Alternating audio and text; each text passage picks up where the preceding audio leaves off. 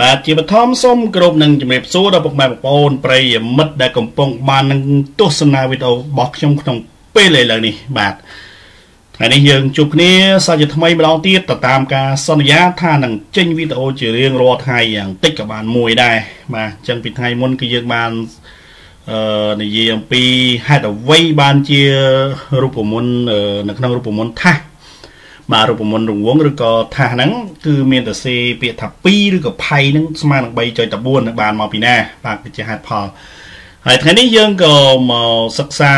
វីដេអូមួយទៀតដែលនិយាយអំពីរូបមន្តផ្ទៃកលាថាសហ្នឹងបានមកពីណាបាទហេតុអីបានជាគេទៅសេរូបមន្តផ្ទៃកលាថាសហ្នឹងបែបហ្នឹងបាទតើរូបមន្តរបស់ផ្ទៃកលាថាសហ្នឹងបានយើងសង្យោគមកពីណាបានចេញជារូបមន្តបែបហ្នឹងណាបាទ អញ្ចឹងចំណុចនេះគឺជាចំណុចល្អមែនទែនបាទសម្រាប់បងប្អូនដែលជាសាសនសិស្សក៏ដូចជាបាទលោកគ្រូអ្នកគ្រូមួយចំនួនដែលគាត់ស្ថិតក្នុងគ្រូបែបជាគ្រូដែលមិនពេញលក្ខណៈណាបាទចំណុចនេះខ្ញុំអធិស្ឋានបាទបើសិនខុសឆ្គងណាខ្ញុំមិនមែនចង់សម្ដៅថាมันមិនគ្រូមិនពេញលេងទេបាទពេលពេលខ្លះគឺគាត់រៀនបណ្ដាគាត់ចេញបង្រៀនតាមសាលាឯកជនមួយចំនួនខ្លះបណ្ដាទៅ បាទអញ្ចឹងធ្វើឲ្យការសិក្សារបស់គាត់មិនមែនគាត់ចេះទេប៉ុន្តែគាត់រកវិធីសាស្ត្រនិយាយឬក៏គាត់រកវិធីសាស្ត្រក្នុងការទាញយករូបមន្តនោះដើម្បីប្រាប់ទៅក្មេងៗណាបាទពីព្រោះបងប្អូនដែលជាសិស្សសិនសិស្សបាទដែលស្ថិតក្នុងអាយុ12ឆ្នាំហ្នឹងគឺយើងមិនដូចជាអ្នកអង្គា x y x y ទាញជាសម័យកាយទេបាទគឺយើងត្រូវមានហេតុផលនិយាយឲ្យមានរូបភាពបាទអញ្ចឹង ដើម្បីទាញបានជារូបមន្តថាសមួយហ្នឹងគឺយើងត្រូវចំណាយទៅលើសម្ភារៈឧបទេសបាទសម្ភារៈឧបទេសទី1គឺយើងមានជារង្វង់បាទយើងជារង្វង់ធ្វើពីกระดาษកាតុងមួយមកហើយយើងបែងបាទយើងយកបន្ទាត់មកគូសបាទគូសឲ្យបានជា12ចំណែកទៅបាទមិនមែនចាំតែ12ចំណែកទេពុកម៉ែបងប្អូនគូសប្រហែលក៏គូសទៅបាទតែខ្ញុំគូសនេះគឺគូស12ចំណែកបាទបើពុកម៉ែបងប្អូនចង់ឲ្យ នេះចង់ឲ្យអាលោកកន្លែងនេះកុំឃើញកោងកោងចឹងខ្លាំងបែងច្រើនយ៉ាងទៀតទៅបាទបែងទៅ18ចំណែកអីចឹងទៅឬក៏24ចំណែកទៅកាន់តែតូចប៉ុន្តែវាក៏ដល់វាល្អិតពេកទៅយើងពិបាកដែរណាបាទអញ្ចឹងឥឡូវទៅ12ចំណែកទៅបានណាបាទ12ចំណែកបាទខ្ញុំខ្ញុំគូសចេះមកគូសចេះមកគូសមកបាទឲ្យស្មើគ្នាណា12ចំណែកស្មើគ្នា រួចផ្គុំចំណែកទាំងនោះបានជារូបប្រលេឡូក្រាម បន្ទាប់ពីយើងបែងរួចហើយយើងចាប់ដើមធ្វើការកាត់ចេញតែម្ដងមកយើងកាត់ចេញដោយ slide របស់ pizza អញ្ចឹងយើងកាត់ចេញតាមគំនូសដែលយើងបានគូសនឹងមកពេលកាត់មកយើងរៀបណាអឺកណា12ចំណែកអញ្ចឹងយើងរៀបមកជួរនេះ6ចំណែកមកជួរនេះ6ចំណែកបាទដូចខ្ញុំបានដាក់លេខរៀងឲ្យមើលអញ្ចឹងបាទខ្ញុំរៀបវាអញ្ចឹងមកហើយយើងចាប់ដើមយកវាផ្គុំបញ្ចូលគ្នាបាទផ្គុំបញ្ចូលគ្នាវាបានមករូបនៅគ្នាបាទអញ្ចឹងពេលយើងផ្គុំនោះបានមកលក្ខណៈបែបនេះ បាទពេលបានបែបហ្នឹងវានឹងคล้ายទៅជាប្រលេឡូក្រាម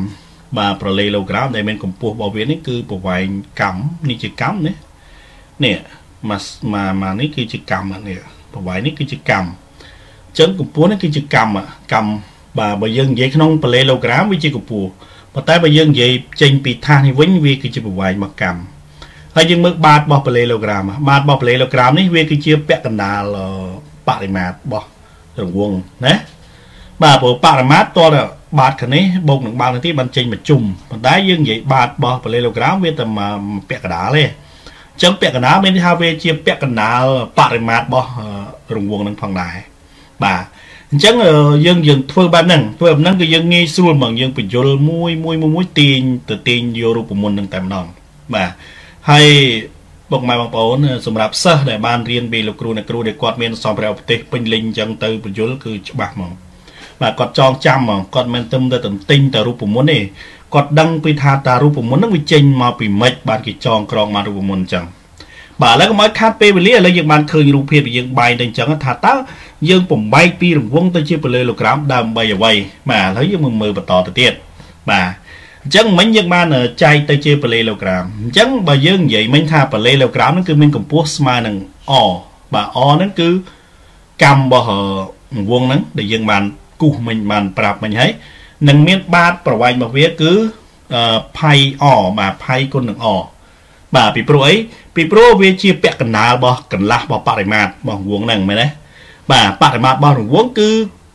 កម្មគុណ2គុណនឹងកម្មគុណនឹងផៃបាទ2គុណនឹងផៃគុណនឹងកម្មក៏បានដែរអញ្ចឹងយើងយកទៅកន្លះបើកន្លះវាអត់មានលេខ2ទេមកនេះថាយើងយកទៅផៃគុណនឹងកម្មមកគឺបានកន្លះបរិមាត្រ អញ្ចឹងគេបានផ្ទៃកន្លះរបស់ប៉ូឡេឡូក្រាមគឺស្មើកម្ពស់គុណនឹងបាតអញ្ចឹងណាបាតគុណកម្ពស់ឬក៏កម្ពស់គុណនឹងបាតអញ្ចឹងកម្ពស់នេះគឺស្មើនឹងអក្សរអនេះយើងតាំងអក្សរ A ជាផ្ទៃកន្លះប៉ូឡេឡូក្រាមជាផ្ទៃកន្លះណាបាទមិនថាផ្ទៃកន្លះប៉ូឡេឡូក្រាមទេទេយើងតាំងអក្សរ A ទាំងអស់បាទហើយអក្សរអនេះបាទអក្សរអអក្សរ A ហ្នឹងបារាំងហៅ A ហ្នឹងយើងនិយាយមិញថាវាជាកម្ពស់វាជាកម្ពស់ហ្នឹងស្មើនឹងកម្មបាទហើយផៃ A នេះផៃអនេះគឺជា បាតប្រវែងរបស់បាតជាកន្លះរបស់បរិមាត្រអញ្ចឹងយើងគុណមកបាននេះស្មើនឹងផៃគុណនឹងកម្មលើកជាការ៉េបាទកម្មការ៉េមានកម្មគុណនឹងកម្មណាអាហ្នឹងយើងបញ្យល់មកក្មេងៗមិនហ្នឹងបាទកម្មគុណនឹងកម្មបានកម្មការ៉េបាទកម្មការ៉េមានថាកម្មគុណនឹងកម្មបាទបាទអញ្ចឹងយើងទាញបានរូបមន្តបែបហ្នឹងអញ្ចឹងជាទូទៅបើសិនជាអជាកម្មថាសនៅផ្ទៃកលាថាសគឺកំណត់ដោយបាទ A ស្មើនឹង pi a ការ៉េ ដែល pi ស្មើនឹង3.14ឬក៏22ភាគ7បាទអញ្ចឹងនេះគឺជារបៀបនៃការទាញយករូបមន្តរបស់រង្វង់ហ្នឹងឬក៏ថាសបាទគឺយើងមានសម្ភារៈប្រទេសបែបនេះក្នុងការបង្ហាញដល់បងប្អូនជាសាសនសិស្សហើយយើងមានហេតុផលនិយាយតាមដំណើរមួយមួយមួយមកគឺសិស្សនឹងចងចាំបានយូរតែម្ដងបាទចងចាំបានហ្មងថាថារូបមន្តរបស់រង្វង់ហ្នឹងបានមកពីណា បាទអញ្ចឹងគឺវាចេញមកពីរូបរាងថារង្វង់បើសិនយើងផ្គុំទៅវាចេញទៅជាលក្ខណៈទៅជាប៉ាឡេឡូក្រាមអញ្ចឹងគេទាញរូបមន្តរបស់ប៉ាឡេឡូក្រាមហ្នឹងដែលចេញមកជារង្វង់គ្រាន់តែមកជារង្វង់យើងតាំងអក្សរផ្សេងគ្នាណាបាទហើយមួយទៀតខ្ញុំសូមបញ្ជាក់ផងដែរកាលពីថ្ងៃមុនយើងបានចេញវីដេអូទៅហើយថាផៃស្មើ3.14ឬក៏22ភាគ7អញ្ចឹងមានអ្នកខ្លះគាត់សួរថាចេះគាត់ថា តើពេលណាគេប្រើថាផៃស្មើនឹង3.14ហើយពេលណាគេប្រើតម្លៃរបស់ផៃស្មើ22ភាគ7ហ្នឹងបាទខ្ញុំសូមបញ្ជាក់ថាករណីក្នុងលំហាត់ឬក៏ក្នុងចំណោទដែលគេមិនកំណត់តម្លៃរបស់ផៃទេ គឺពុកម៉ែបងប្អូនត្រូវតែយកតម្លៃរបស់ផៃហ្នឹងគឺស្មើនឹង3.14បាទយក3.14ណាករណីដែលគេអត់កំណត់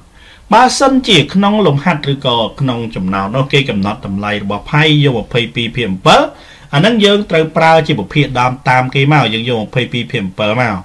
បាទពីព្រោះអី22ចែក7ទៅវាបាន3.14ហ្នឹងប៉ុន្តែពេលខ្លះគេយកជាប្រភេទហ្នឹងពីព្រោះក្នុងលំហាត់ហ្នឹងគេបានគិតរួចស្រេចឬក៏ក្នុងចំណោទគេបានគិតរួចហើយថាវាពាក់ព័ន្ធជាមួយប្រភេទហ្នឹងអីចឹងទៅបាទឬក៏គេចង់ធ្វើឲ្យលំហាត់នឹងវាមានការកលុកកលាក់ឲ្យកាន់តែច្រើនបន្តិចដើម្បីរកភាពឆ្លាតវៃក៏ដូចជាការប៉ិនប្រសពរបស់សិស្សក្នុងការដោះស្រាយ បាទអញ្ចឹងតកតងទៅនឹងការទាញរូបរូបមន្តរបស់រង្វង់គឺមានតែប៉ុណ្្នឹងទេហើយបើសិនឪពុកម៉ែបងប្អូនប្រិយមិត្តបាទមានចម្ងល់ឬក៏ចំណុចណាមួយដែលមិនច្បាស់ពុកម៉ែបងប្អូនអាចធ្វើការ comment នៅខាងក្រោមវីដេអូខ្ញុំបាទនឹងឆ្លើយតបតាមលទ្ធភាពដែលអាចឆ្លើយបានហើយបើឆ្លើយមិនបានទេខ្ញុំនឹងធ្វើការស្រាវជ្រាវរកដើម្បីរកចម្លើយទាល់តែឃើញបាទហើយអរគុណសម្រាប់ការ comment ក្នុងន័យស្ថាបនាបាទរិះគន់ក្នុងន័យស្ថាបនា បាទសម្រាប់ពេលនេះខ្ញុំបាទសុធាសូមជម្រាបលា